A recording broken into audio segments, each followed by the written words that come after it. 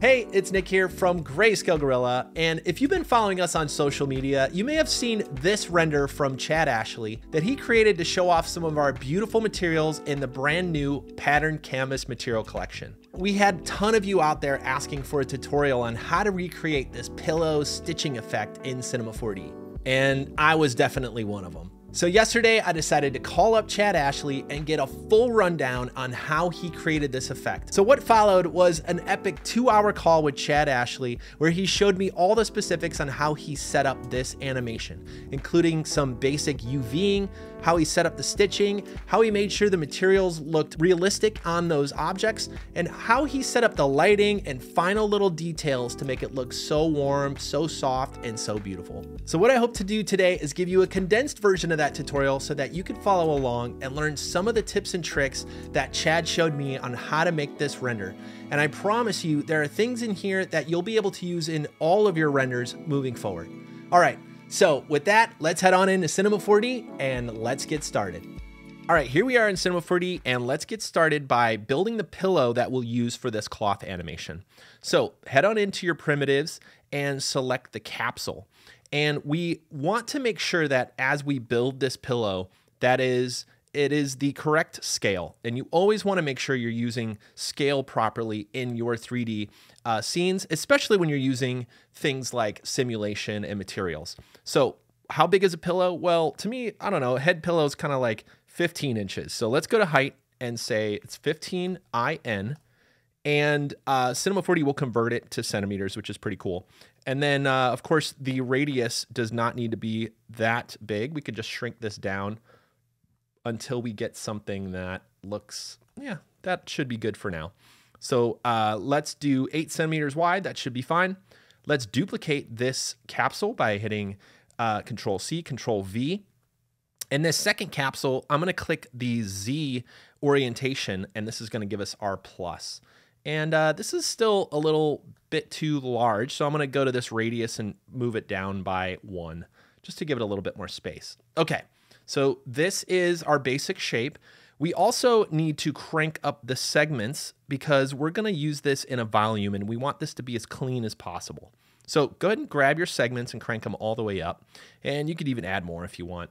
Um, and so what do we do now? How do we make this one continuous shape rather than two separate pieces? Well, I'm going to use the volume builder and mesher. So with my mouse over here, I'm going to hit Shift C to pull up my um, Finder tool.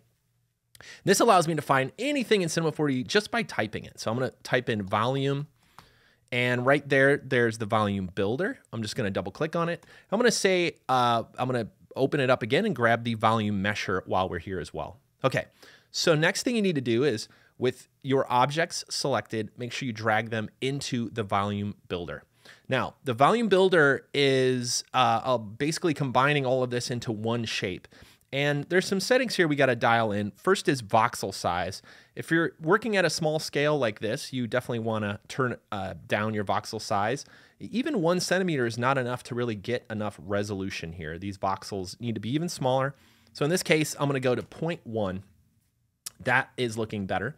And we also want to smooth this out. We don't want this to be the sharp uh, edge here. We want it to be pillowy. It's going to be a pillow. So how do we do that? Well, we add a SDF smoother. Just click this right here. It's going to add it to the top of the scene.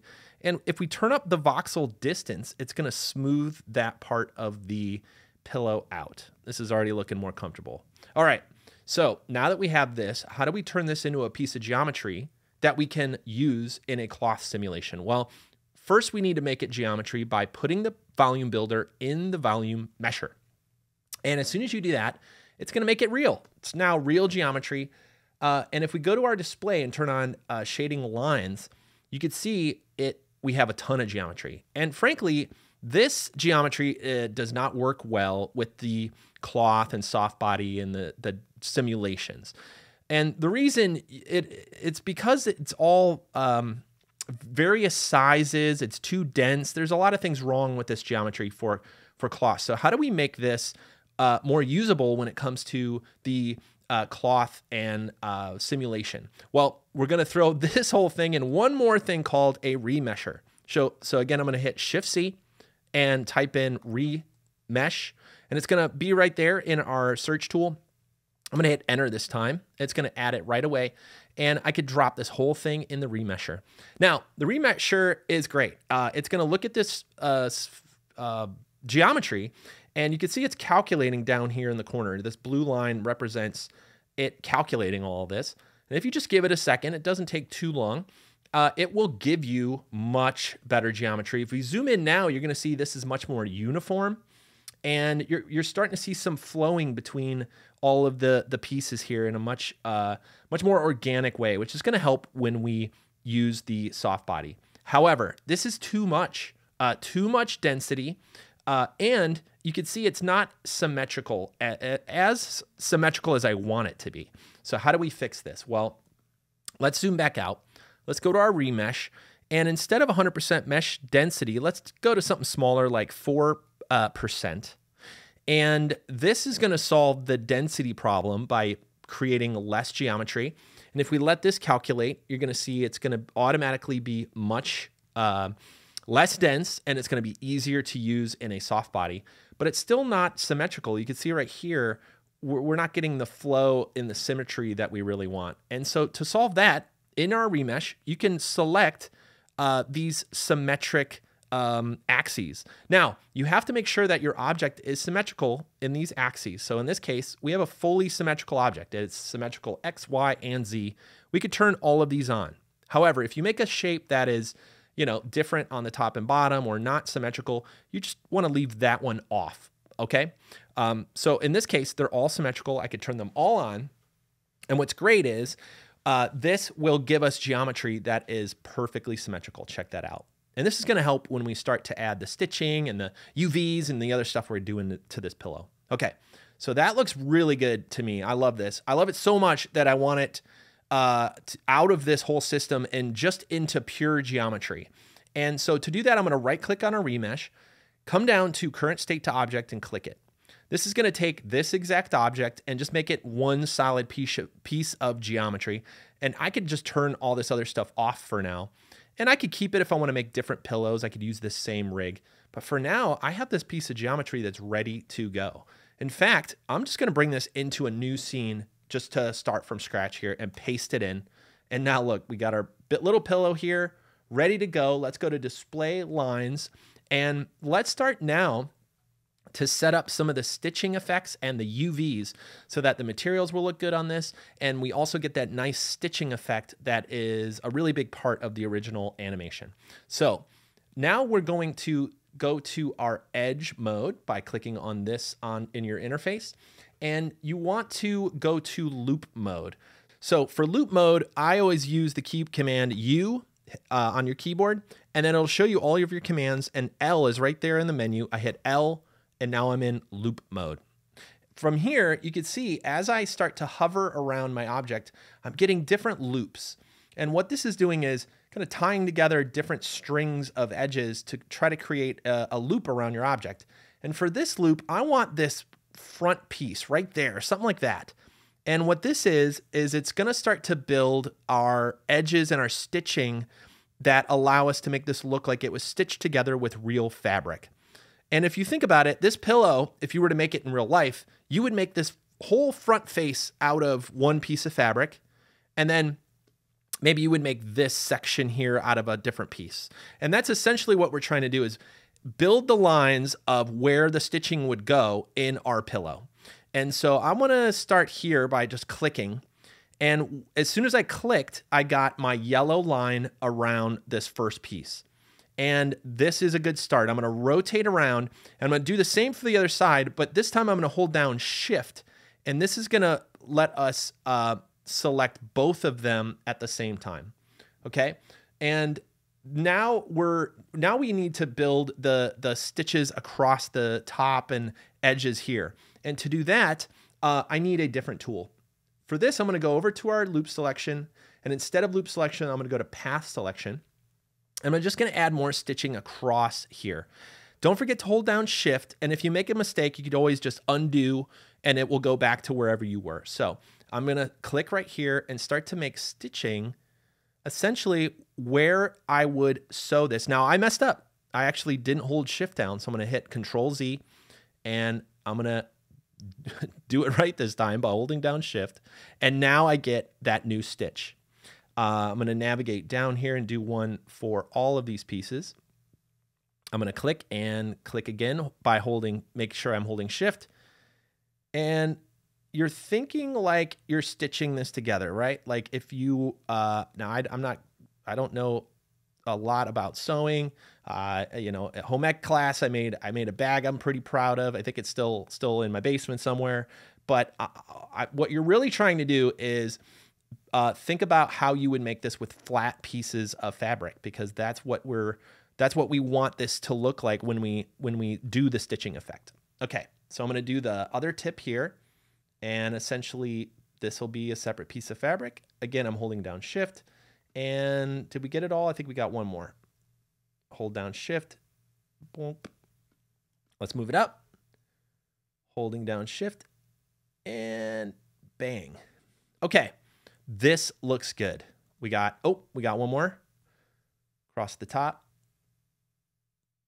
There we go. Did it. Whew. Okay, checking to make sure we got all the pieces. We got essentially all the different pieces that we need to start this effect. Now, I just got done selecting all this stuff and I don't want to I don't want to lose this selection. And I want to keep this selection uh, tied into this object so I could use it later down the road when we do UVing and when we do other effects. So I'm going to come up to uh, select, I think it is. Yep. And then come down here to store selection. And as soon as I do that, it's going to add this new tag to my object. Now this tag uh, allows me to, uh, if I if I had a different selection like this, for example, and I wanted to bring back that other selection, I could just select the tag and uh, click on select, and it's going to bring back that selection. Okay, so this is this is important. So now that we have that, uh, we can also set this up with a little bit of um, stitching geometry. We're going to do that right now, and then we're also going to uh, make a uh, UVs so that our our uh, materials are applied properly to the pillow, which is a major part of that effect. Okay, so two things we need to do. One is pull in this geometry just a little bit to kind of fake the stitching. So it's already selected. If you don't have all of the geometry selected, go ahead and click on select and then just grab your scale tool. And because this object is so symmetrical, I could just pull in my scale just a little bit and now I get a little bit of pinching everywhere uh, on this object that just sets it off a little bit differently and kind of fakes this um, fakes this stitching. Now, with more detail, you can actually make more creases and get really detailed in here. But I think for this tutorial, that should be enough. Just that little bit of, of uh, scaling for this should be enough. Uh, for the next part, we're going to do UV, okay? And this is important because with, with if you don't do this, your materials will not apply properly to your object and it won't give you that fake uh, cloth feeling that um, you'll need for this type of look. So how do you do a basic UV? This can be very daunting. UV's known to be a little bit scary, but I promise you it's not as uh, tough as you think, especially with an object that is uh, straightforward like this. So let's put some basic UVs together right now. To do that, uh, we can, with this selection already set up, ready to go, go into your UV Edit tab. It's right up here in your, uh, comes installed, ready to go, right inside of Cinema 4D. And as soon as you're in here, you're gonna see what the UVs look like now.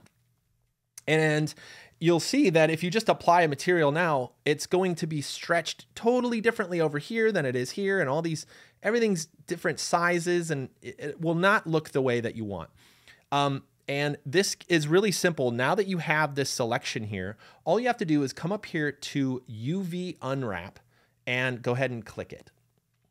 You can see now it took all of these uh, pieces that we selected and pulled them into separate parts. Just like if we were to make this out of fabric, it's now sitting here um, in different pieces, just like fabric is.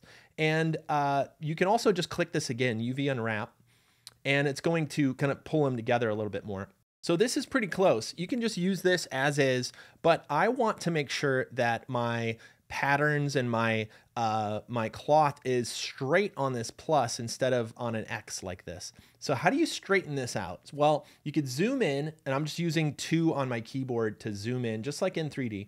And you could select one of these uh, um, uh, edges that are crooked and zoom out and then just click on align UV islands. And this is going to straighten it out. And you can do the same on this X.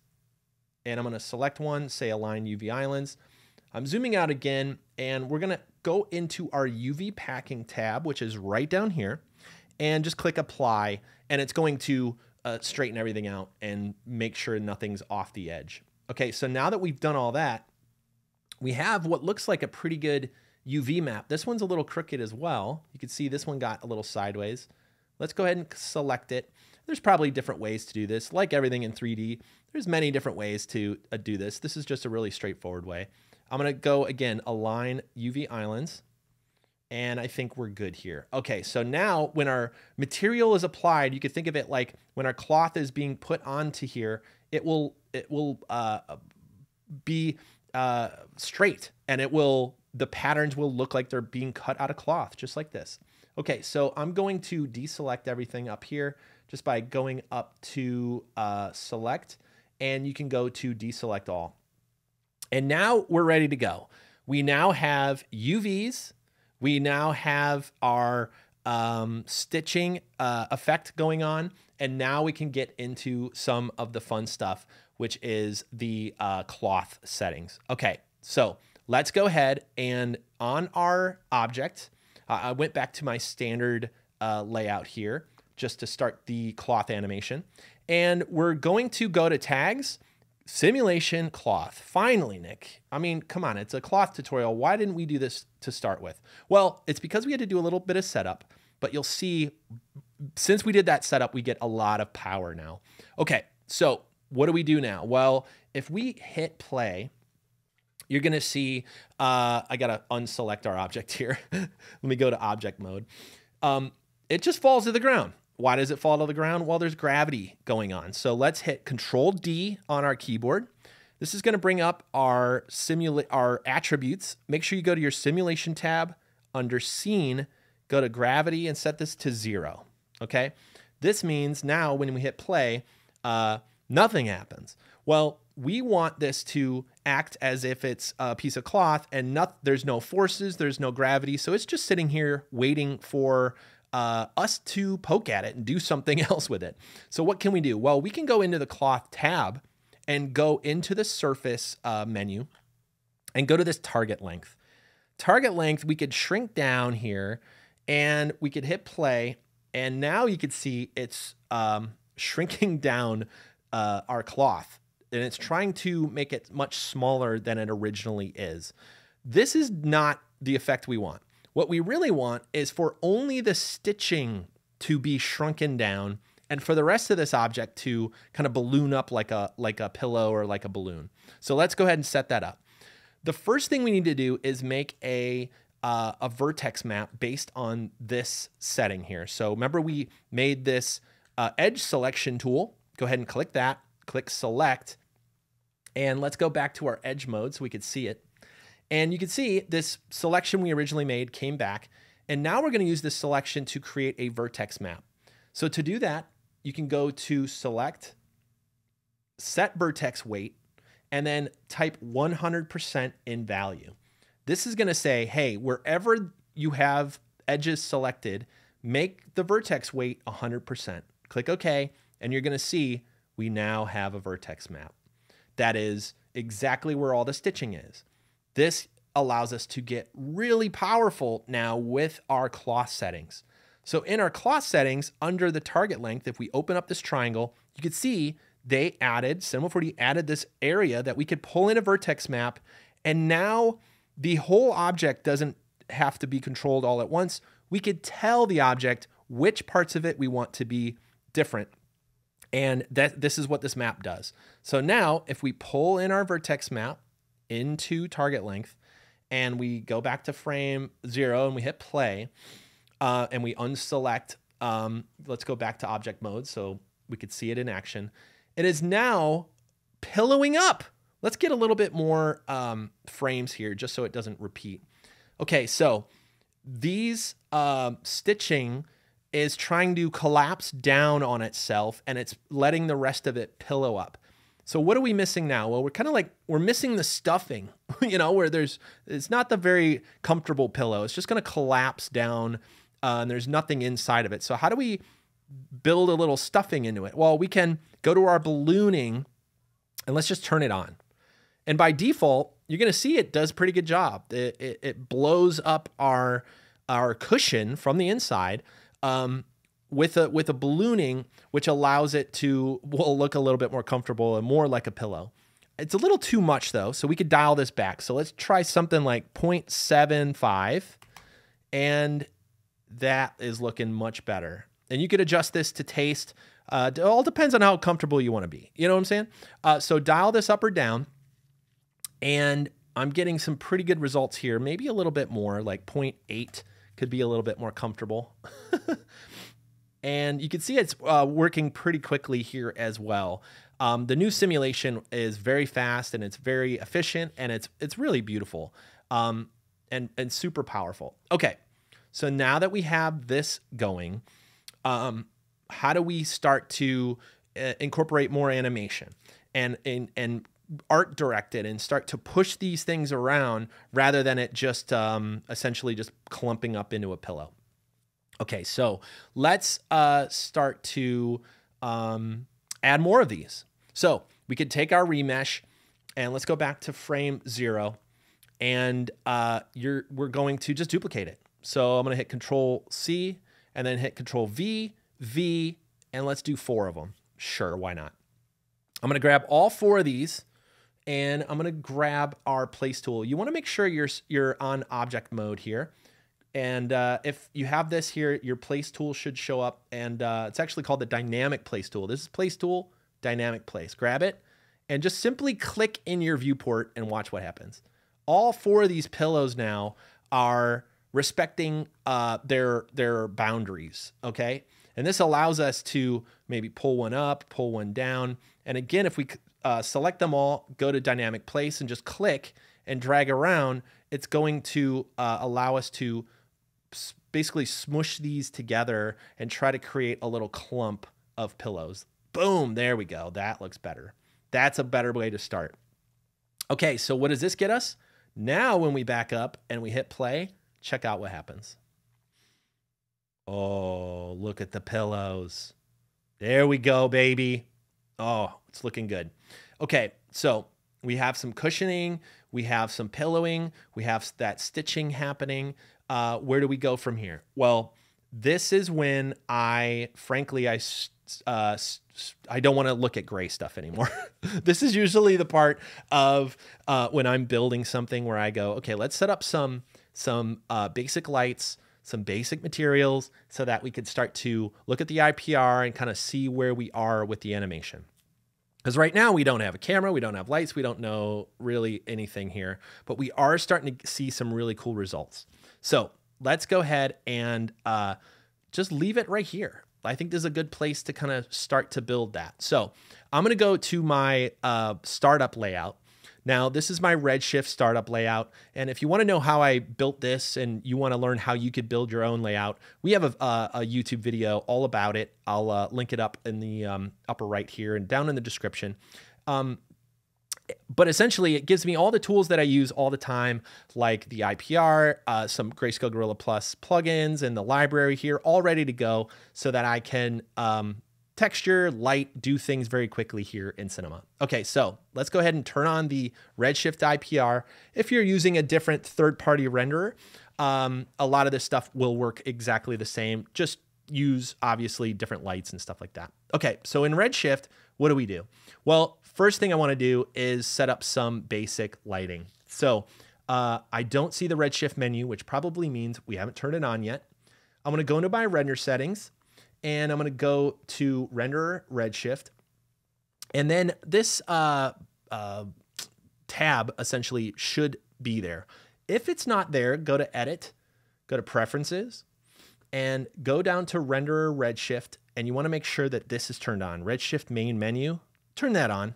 Okay, that way this will pop up when you turn on Redshift. Okay, now that we have Redshift turned on, we can go to Redshift and we can turn on a camera. Okay, and this camera, we uh, probably don't want it default. You never want a default camera. You want to start to think if you were taking a photo of these pillows piled up on a couch, let's say, what lens would you choose? And if you uh, are haven't been a photographer or, or, like switched lenses on a camera, you might want to learn a little bit about that. It does help uh, in any 3D render understanding a little bit about lenses. We also have these tools here that let you pick really common lenses. Uh, so in this case, I'm just going to use a 50 millimeter, which is literally a standard lens, and uh, it's a good go-to if you're not quite sure what you need. Uh, I'm going to click 50 millimeter. This is going to give us a little bit um, more control over our scene here. And of course, the next thing I need to do is set up some lighting. Not a fan of the default light. Let's go ahead up into Redshift and under lights, I'm gonna click on dome light. Now, dome light is already better than before, but it's all white. Uh, we don't want that. We want to use an HDRI. So in your Redshift dome light, go to Object, and then under Texture, you can click on this uh, file menu here, and you can go on your hard drive and you can pick any HDRI. In this case, I want to use uh, our Greyscalegorilla HDRIs and uh, be able to choose different ones. So if you want to do that, all you have to do is drag texture into Dropzone, which is another one of our plugins. And this allows you to um, have a live link to our entire library of HDRIs. So now you literally just can click on any HDRI and it updates right here in the viewport. Uh, in this case, I want to use uh, Creative Office, which is one of my favorites. What's one of my go-tos? I'm just going to type Creative Office, click it, and you can see it automatically shows up in the viewport. And I don't want it in the background, so I could select my Redshift Dome light, turn off background, and I could go into the coordinates and rotate it around until we have some nice lighting coming from the left. Okay, so uh, next thing I'm seeing is uh, we need to update the geometry here. And uh, we, we obviously need some uh, materials. So the geometry issue, let's solve that first. If I zoom in, you're going to start to see uh, that the geometry, like this is a good example, is starting to pinch and it's making these really cool little pillowy marks, but it's the geometry itself is kind of poking through and it and there's just not enough of it. And rather than crank up the geometry here, uh, I want this to calculate very quickly, but I do need to smooth this out. So this is where I'm going to use the Redshift tag. And I, there's Octane tags and Arnold tags that do something similar to this. I'm going to select all of my pillows here. I'm going to go to tags, go to render tags, click on Redshift object, and this will apply that tag to all four objects. Then down here, you're going to see the geometry uh, tab. And under the geometry tab, you want to turn on override. You want to turn on tessellation enabled. And in this case, I don't need screen space adaptive. That'll slow me down in this case. Let's turn that down or off. Uh, uh, minimum edge length, I'm to set this to one. And maximum subdivisions, I'm just going to say two. I don't think we need a ton of extra subdivisions. Uh, and if you do need more, you can crank this up, but I think this will work pretty quickly. Look at how much better that looks. And you, now we're getting all this nice pillowing and it's uh, nice and soft. We don't have any more jagged edges. And it renders very quickly because it's doing it at render time rather than making it do all this calculation, okay? So let's zoom out. Let's get back to here and let's start to talk uh, about the uh, materials. So I, I want, I don't want to just see the tops of all these things. so I'm gonna grab all four of these and rotate them around. And so just so they're, I'm still using this dynamic place tool. You can see how cool it is that it respects uh, geometry here. Okay, something like that might may be a little bit better. From here, I'm gonna hit play um, and just let it go until I'm getting a little bit more cloth. And somewhere around there, I'm going to start to uh, mess with some of our uh, materials. So I do want to set up a nice camera angle because it's always more fun that way. And something like this might be just fine. Okay. Uh, I also need to rotate our light around a little bit. There we go. And so of course, this whole animation that Chad made, right? The, the, the thing that started this whole tutorial uh, was created to uh, promote our new uh, material collection. And uh, it's right here. It's called Pattern Canvas. And uh, these are beautiful uh, materials created specifically for cloth simulations and for beautiful detail. And they come with all these awesome patterns that you can also change the colors of, by the way. We're not going to be doing that today, but you can go into any one of these and change the colors to your brand or your, your client's brand. Um, and they're really, really beautiful patterns here. And so this is what we're going to use. Uh, let's, um, let's just go down to this polka dot one to start with. And I'm just going to drag it up in, into our viewport right on one of our little pillows here. And you're going to see it updates in the viewport. And if we zoom in just a little bit, you're going to see all that awesome detail. And because we did that UVing, that this looks like it's being created out of cloth. Uh, there's no stretching in the material. They all look like these little pieces of cloth that are puffing out and they have the stitching built in. And so what's cool about this is any of these patterns, even the ones that um, have more like straight lines to them like this, let's use, let's use this one instead. Um, the patterns are going to be straight. right? Because we took that time in the UV section to straighten everything out and make it uh, a cross or a plus instead of an X, all these pieces look like they're coming from the material itself and made with real fabric. And this is a really big part of the look.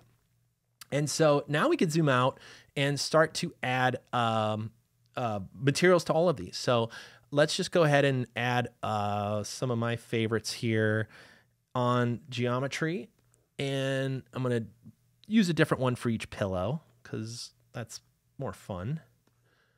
Bang. And I encourage you to do the same. Um, and if you have more time to calculate the dynamics, you could add more pillows. You could have different shapes. You can go back and make your own. But now you get the basics of how to set all of this stuff up. Um, okay, so now we have uh, uh, some basic materials here from the uh, pattern canvas. And by the way, if you don't, if you're not a Greyscalegorilla Plus member, um, you can just make a material right up here by going to create Redshift material standard. And in your material, just go, uh, don't worry about nodes for now. Just go down here to your reflection roughness, which is way at the bottom here, and just turn this up. And this will give you something that uh, not a, a, glossy material that you can then change the color of. And this will be fine uh, for your render. It just won't have all these all this nice detail and patterns and all that stuff. Okay, so now that we're here, um, what can we do next? Well, let's add a background, and then we're going to talk about caching our geometry uh, and, and simulation. So uh, let's go ahead and add a new Redshift uh, dome light. And this is just going to act as our background. So Redshift lights dome light. And by default, we're going to get another white background. And it's also adding all of this light to the scene. First of all, we don't want it to add light. So we can go into details under that new dome light and turn down diffuse. In fact, you could turn all this stuff down. And this is a nice way to have a background that is only affecting the background and, and not your scene. And uh, you, if you want a little fill light, actually, you could just turn up your diffuse here, and this will just fill in some of the gaps uh, and basically give you like a like a big fill light that will kind of get rid of some of the dark shadows. Um, you can also change the color so that it's not a pure white. So go in your object, go to color. In this case, uh, let's pick something a little bit darker with a little bit more like a like a tan. No, not that bright, but something kind of subtle but with a little bit of color, just a little bit of warmth. There we go. This looks pretty good. Um, okay. So we're, we're getting some uh, good lighting. I think I need to maybe even turn this lighting up a little bit. So now let's talk about setting up our animation and making something a little bit more fun to look at. So I'm going to turn off our IPR so we could look at the cloth itself. And if we hit play, you're going to see um, really, all that's happening is uh, it's turning into pillows, and then they're just kind of hanging out here. okay. And if you want to just place some pillows on a couch somewhere, that's fine. You would just you take a photo or do this animation. But we want them to swirl around and bounce off of each other and have this nice, uh, beautiful simulated swirling feeling. So how do we do that? Um, well, for that, we're going to uh, use a field force. And so over in your object menu, hit Shift C again and type in field, F I E L D, force.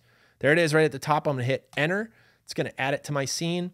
And field force, think of it kind of like the simulation forces menu, but uh, with a little bit more control and, and it allows you to kind of combine a lot of these together using fields. So how do you do it? Well, uh, for this animation in particular, we're going to go to field force under object, and here are your fields. The first one we're going to add is a spherical field.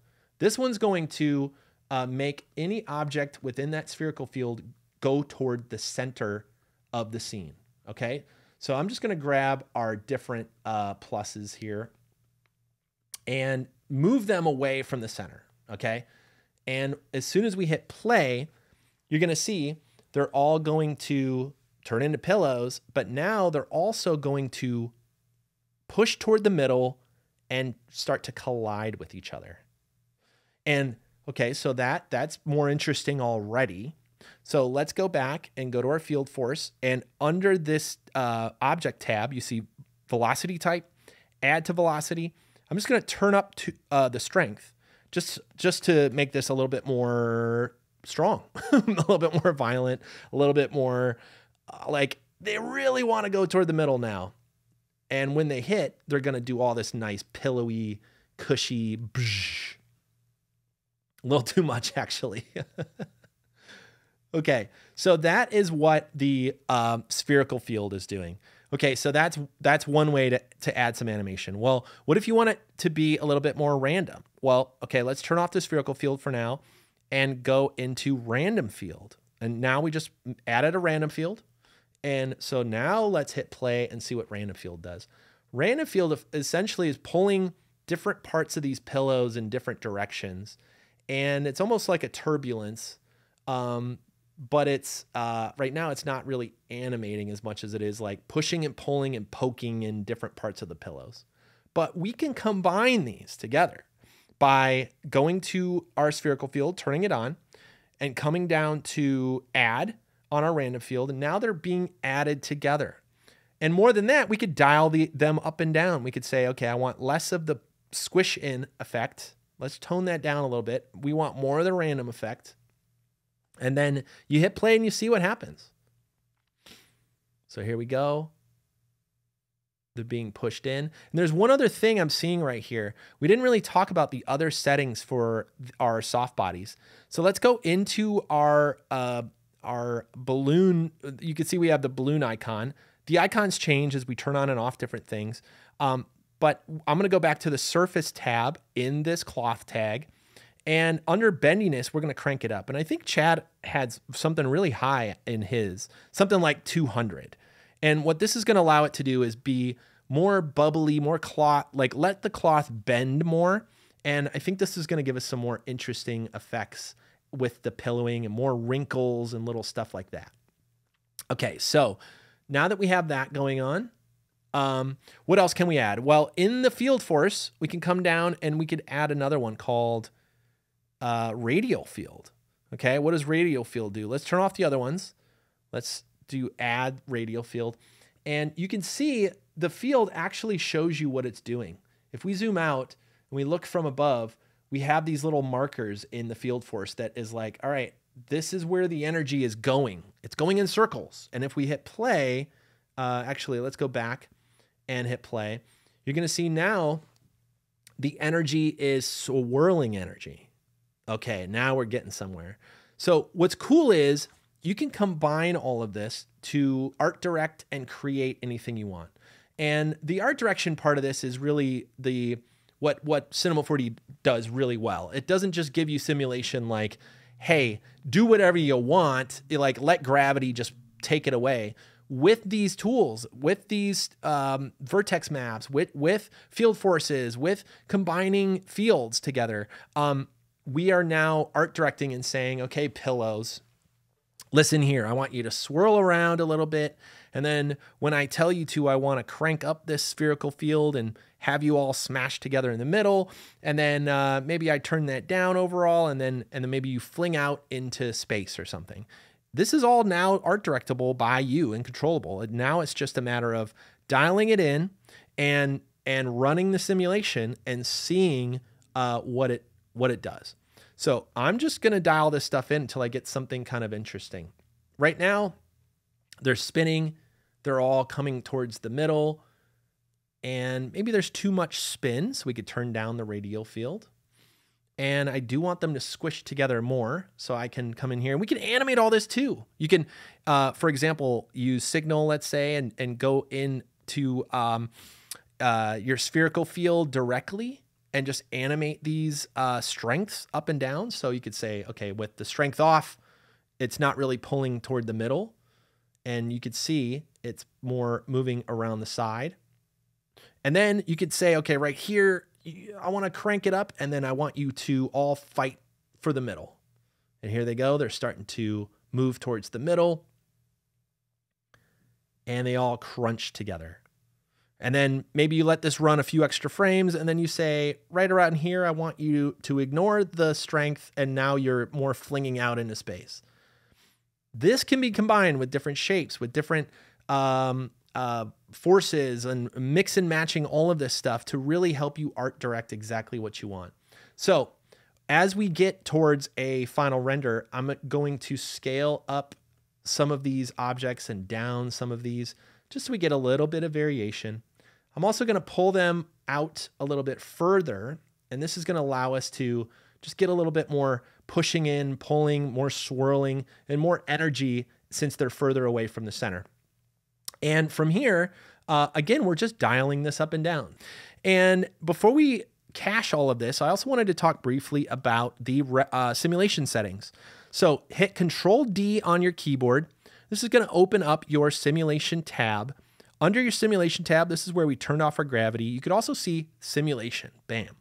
In here, you're going to see things like subset, substeps, iterations, um, and these all have a huge impact on your final animation. Um, if you have collisions that are intersecting, if if there's cloth that's intersecting, you want to make sure you turn up things like your iterations and your um, passes, collisions right here. You want to say extra iterations. Turn this up. If you have intersecting, this is a great one to mess with. In our case, um, we just want to slow down some of this ballooning. Uh, in this case, I'm just going to turn up our iterations to something like five. Let's back it out. And I don't think we need much more than that. Maybe a little bit of a uh, little bit more damping uh, I'm going to set this to four. This is going to um, keep all the wrinkles, but it's going to make the kind of ballooning a little bit less. And this looks actually more soft and more cushy to me. so again, very, very settings dependent, but um, but it calculates quickly enough to where I think you could play with this and start to get looks that you like. All right, I already like this. This frame right here is like this big, oh, I, I moved it. Let me undo that. This like this big plus is hugging the small plus. I freaking love it. Let's hit play on our IPR and see what this looks like. This looks really, really fun. Uh, let's move our lighting around just so we can get a little bit more lighting. Boom. And there's just too much of the same pattern here. I want to break it up a little bit. So I am going to go to something like this here and just drag this on top of this giant plus. This is going to lighten our our color palette a little bit. Okay, that's great. You can see the canvas texture. This one's given this one's a nice big hug. And now we can start to uh, create our final render.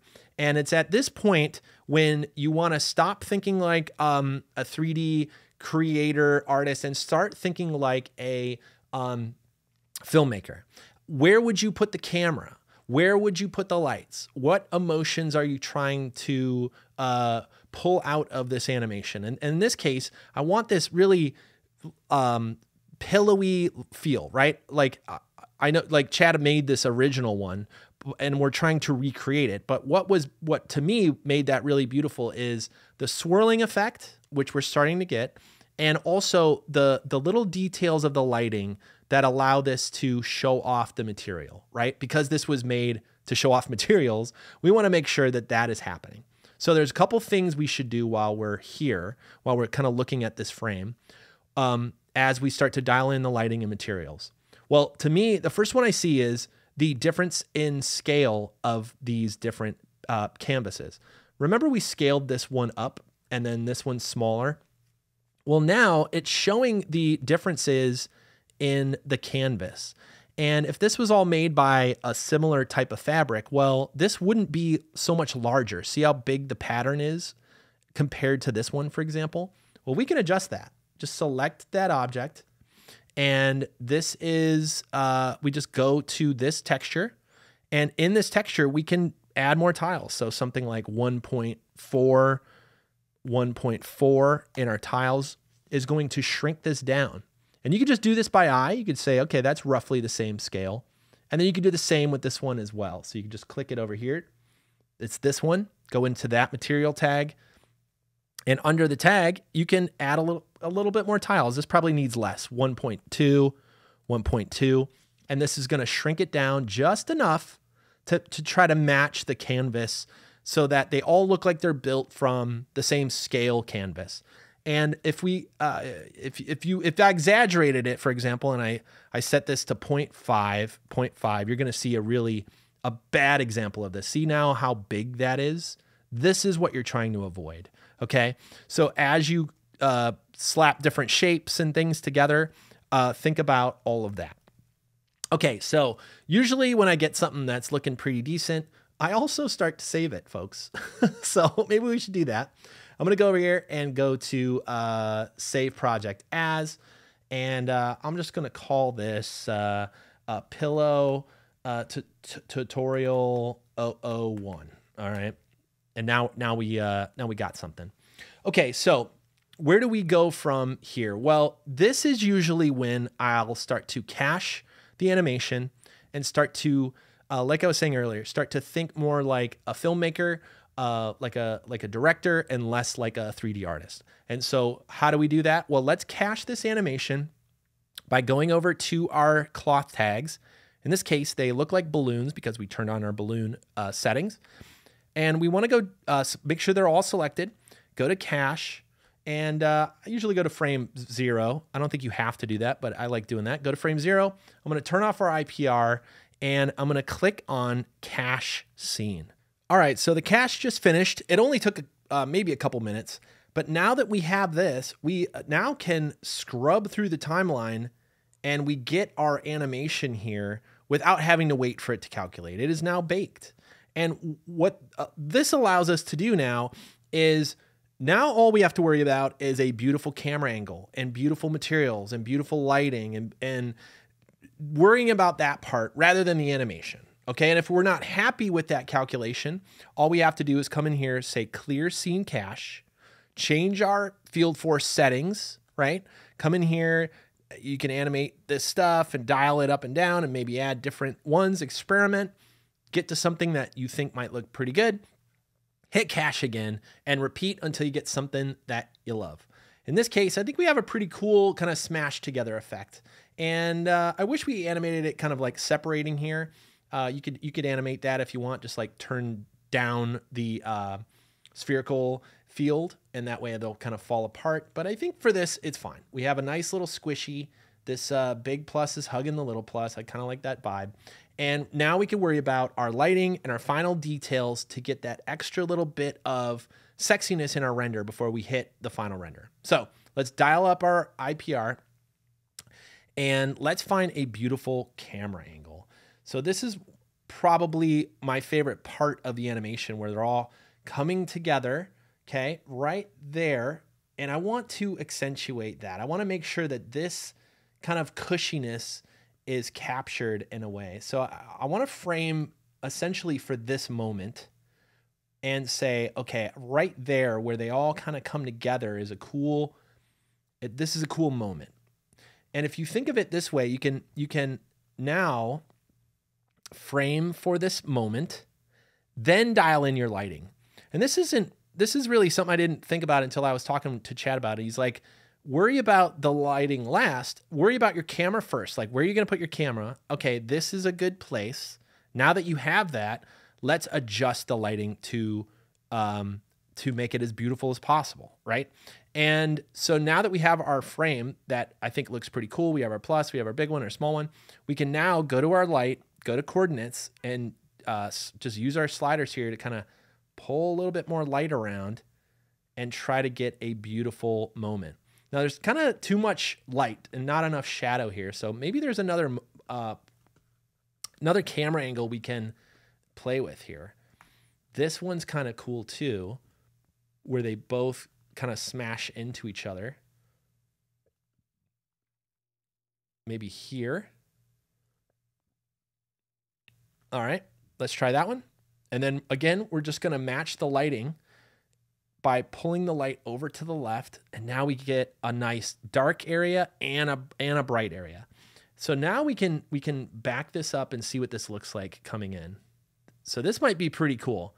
We got this frame and then, and then it's gonna smash together there. And this could be a good place to kind of keep our camera. Boom. Okay, that looks pretty, that looks pretty nice. Okay, um, so we set up our camera. Let's start to dial in our final little tweaks that makes this go from a good looking render to a great looking render. And by the way, this is when Chad started showing me some tips and tricks that I'm really excited to show you. I've never really done too much inside of uh, Redshift before that I think um, may help you with some things, or just really give you those last little tips that uh, make it look better. So, first one is obviously we need to add some depth of field. We need to add some real camera detail. Um, because we set up our scene with natural scale, uh, we can use natural camera lenses and f-stops to get uh, realistic looks.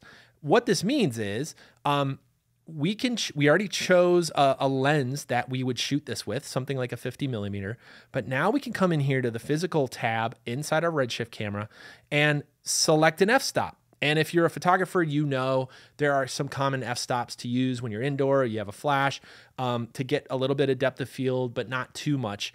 And in this case, something like a four f-stop uh, is usually what you would use in like a studio situation, right? And maybe a six. But let's start with a four. Um, so we set our f-stop. The other thing we need to do is go into our Redshift tag and this is also true with uh, other third party renderers, Octane. You got to go turn on the depth of field.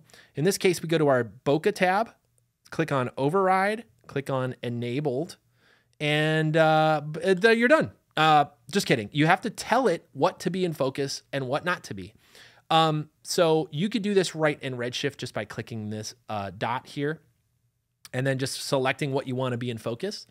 And now you're seeing uh, why we used real world scale, real world lenses. We get this beautiful natural uh, bokeh and little bit of blurriness here in the background, and it it actually makes the the canvas stand out even more because it's surrounded by slightly out of focus things, right? Automatically gives it that that realistic feel. Very subtle, but again, we're going to do a few things here that are subtle but add to the realness. Okay, so we have our f-stop, we have our focus, um, and and you, you can also use a focus null if you want to experiment with that. We have a tutorial all about a focus null as well. Uh, I'll make sure to link that up uh, in the in the description and here on YouTube. Uh, for that, you could just click a null, and I usually call it focus. And down in your Redshift camera, go to Object and drag in your focus null right here on Focus Object. Now, instead of using this thing, now you could just grab the focus null and you can grab the place tool, which is right here, and you can click on any part of this animation uh, over here, and it will stick this null directly to that object. And now, no matter where you put your camera, whether it's far away or way up close, this will always remain in focus. This is really powerful. It's been a part of my workflow for a few months now, and I can't live without it. I had to include it in this tutorial as well. Um, all right, so now we have our focus. We have our lighting dialed in. What else can we do to add these little subtle differences? Um, this is where Chad showed me this menu right here. So um, if you don't see this gear icon in your Redshift, it probably means it's being hidden, kind of like mine, right? There's just not enough screen real estate to get to this little gear icon. So Redshift included this little button. Click this button, and then right down here, you're going to see this gear. So this gear is going to open up a bunch of basically compositing and extra things that you could add to your scene. Uh, things like color management, uh, and then the two things that we're going to uh, look at is LUTs and color controls. So first of all is LUT. If you haven't played with LUTs, we have Greyscalegorilla LUTs that come with Greyscalegorilla Plus, and essentially they're uh, lookup tables that allow you different lighting scenarios, um, different film emulation, diff- uh, different color grading uh, for your renders that give you different looks. In this case, we're going to use one of the built-in Redshift ones. And this is one that Chad said he uses all the time whenever he wants a warm kind of feeling. And with this um, pillow animation, we want a warm kind of feeling, right? we want we want to uh, make this feel like you're at home and, and that these pillows are comfortable and something warm. So Chad showed me this. He said uh, I, I, he says he uses this LUT all the time, um, and I'm excited to show you guys. So you turn on LUTs, you go to LUT file, and you go to Advantix 200. And you can see by default, uh, it's got this awesome warm look to it. Let's turn it off. This is what it looked like before. It looks great. But now look at all the warmth and the extra kind of contrastiness that we get to on this scene. And in fact, it's a little bit strong for me. I might even pull it back. If anything's too strong, but you like the feeling, you just go to LUT strength and dial it down. I'm going to go to something more like 50%. And this already feels better, especially with these colors. I love how it just kind of makes these oranges pop out a little bit more. Um, and then right below it, we're going to play with curves. Man, curves, I love curves. I've been a fan since my photography Photoshop days. Um, and frankly, I didn't even know this was here. Uh, Chad showed me this and he says, you know, for a quick little adjustment and so you don't have to composite this later, you can just dial this in right in the viewport. And that way, when you hit render, it's done and you don't have to go bring it into After Effects or whatever to do your final little color.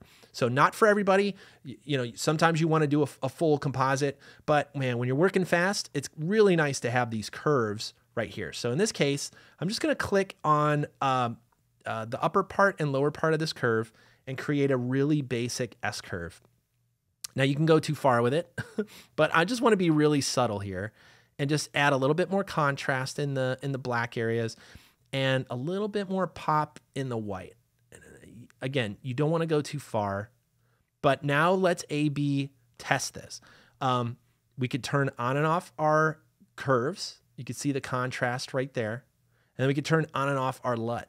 And these things combine to make subtle differences that add warmth and a little bit of contrast and a little bit of style to your render. So now if we turn this off, um, I'm really liking how this looks. Uh, let's check it in different frames. So let's go back here. Love that. I love how blurry this is and how sharp this is. This is kind of coming into frame out of focus. And because we cache this, we can go pretty quickly now into this mode. That's looking really beautiful. Um, the, the canvas looks good. The patterns look good. Let's scroll forward. That's looking good. It's a little bit bright, um, but I think that's okay. I think for this animation, it's kind of like it's kind of like done as soon as we get here. This is really the key part of it. It's like the from here. Let's look at the start. It's not quite pillowy, but I think essentially we'll start this animation here. It's going to come together. They're going to collide. Bam. It's looking nice. And then right about here, it's probably done. And I think it's ready to go. Um, okay, so uh, oh, I moved my focus. I'm going to undo that. I'm just going to click on my startup uh, tab just to go back to my regular uh, layout. So because I messed it all up there, I'm going to click my IPR one last time to just kind of double check our lighting, make sure everything's looking good, making sure we're ready to go. And from here, I think we're ready to render, folks. Um, you know, it, this is really straightforward. You can go to your output, uh, go to current frame and turn this to all frames. You want to pick a place to save this here. And uh, instead of a TIFF 8 bit, I usually do a 16 bit, especially for final renders. And uh, I think we're ready. Uh, Redshift medium is usually my first render no matter what. Um, and if you start to see graininess and it's not high enough res, uh, or uh, essentially you're just looking for grain. And with a little bit of depth of field, I think we could get away with medium. I would start with medium, keep an eye on it. And if you are seeing uh, graininess in your blurry areas, crank it up to high. Now, there's a lot more with settings, and we have videos on all that stuff, of course. But for this uh, render, I think we did it, folks. And hopefully, there's something here that has spurred some ideas and just really understanding the power of some of these new simulation tools and how you could use them to really quickly create some awesome, beautiful animations here in cinema. Thanks again for watching, everybody. And if you end up creating something using this technique, we'd love to see it down in the comments below. And if you're new here at Greyscalegorilla and you've watched this far, then consider subscribing and hitting the notifications icon so that you're notified when we put out new tutorials just like this. So with that, I just wanted to thank you for joining us today in this tutorial, and we hope to see you in another video really soon. Bye, everybody.